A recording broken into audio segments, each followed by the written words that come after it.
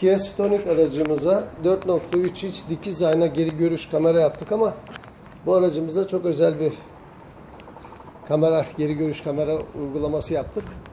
Şöyle bir e, çeki demirinin üzerine e, cep bagaj diyeyim ben buna. Aracın içeriden de araca mani değil görüntüsüne şöyle bir marka arkadaşımız yurt dışından getirmiş aracına taktırmış. Fakat arkasını görmekte zorlandığı için kamera ihtiyacı oldu buna. Kamerayı hemen biz buraya gömdük.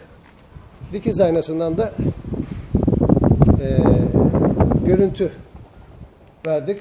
Gayet de e, geri geri giderken aracıyla rahat bir park imkanı olacak. Kendi orijinal aynasının üzerine geçmedir aynamız. Gerçek bir dikiz aynasıdır bu aynamız. E, güneş ışığı fazla içeriye girerse yansıma yapar. Onu hep söylüyorum. Aracı bir çalıştırayım.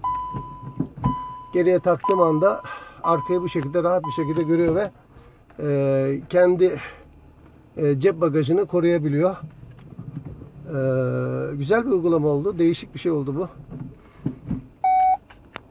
Müşterimiz bizi internetten bulmuş. Arka cep bagajını koruyabilmek için böyle bir ihtiyacım var diye bize e, istekte bulundu. Biz de bu uygulamamızı yaptık. Evet 4.3 inç dikiz ayna geri görüş kamera uygulaması yaptık Kia Stonic aracımıza.